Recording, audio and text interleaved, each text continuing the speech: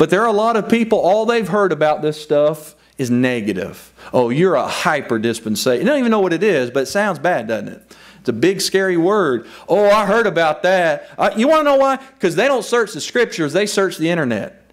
They get on the internet and say, What about hyper dispensation? Then they come up with Harry Ironside's tired old book from 1930 and it's been refuted 10 times a, a, year since then. It's a terrible book. I've read it several times. It's, but people will get that book he wrote called Wrongly Dividing the Word of Truth when he attacks our position. And instead of studying the Bible, they find some article or some book a man wrote and they think they refuted it. And they don't even understand the issues. They use straw man arguments and they look for they you know what they don't want to believe it because believing it would mess up their religion and mess up their tradition and it would be uncomfortable. So they start trying to find something to attack it and they don't go to the Bible, they look to some man to tell them how to answer it. Then that's the issue the fear of man.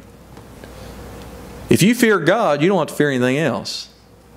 A lot of people don't want to see this because this stuff is contrary to religion. It's contrary to denominationalism. It's contrary to most professing, the professing church at large. This is some, people say, no, I want, I want to stay right in my comfort zone. What, what is so and so going to think?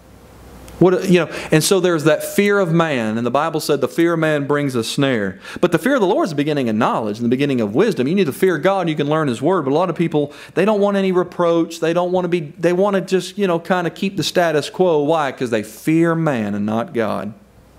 And they seek man's approval instead of God's. Study to show thyself approved unto God, not your preacher, not your denomination Study to show thyself approved unto God.